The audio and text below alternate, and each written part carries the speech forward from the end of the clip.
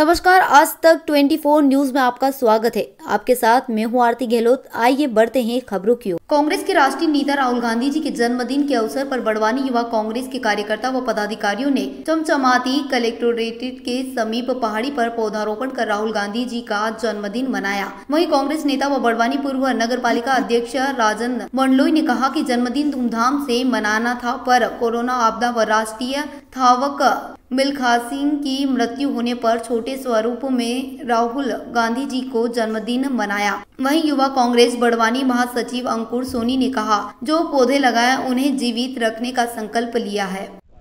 आज हमारे आदरणीय राहुल गांधी जी का जन्मदिन है।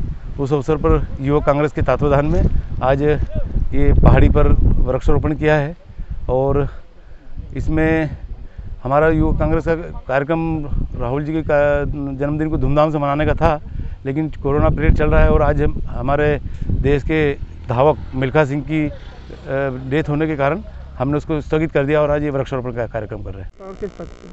अंकुर सोनी युवक कांग्रेस जिला महासचिव। क्या कार्यक्रम किया गया?